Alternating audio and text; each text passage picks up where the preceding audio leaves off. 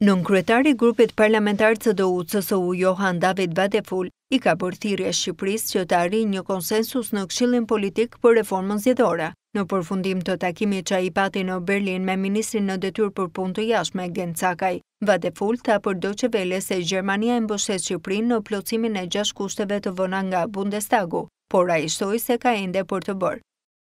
Kthejuni konsensusit në Këshillin Politik dhe jepini ODIHR-it mundësinë që të vlerësojë ndryshimet që do të arrihen në Këshillin Politik për listat zgjedhore.